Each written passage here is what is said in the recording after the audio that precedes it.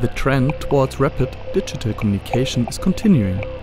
Even security sensitive areas, such as production facilities, want to benefit from the advantages of fast information exchange. Therefore, a secure communication is essential.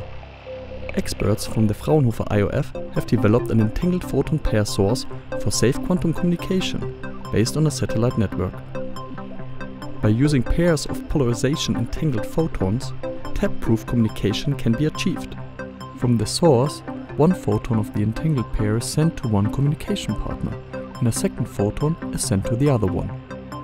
Interception or manipulation at one point would cause the state of both photons to change at the same time. This change indicates that a third party is attempting to obtain information illegally and enables an immediate response. Entangled photon pairs can be created using a technique called spontaneous parametric downconversion. This requires a nonlinear crystal and a coherent laser beam.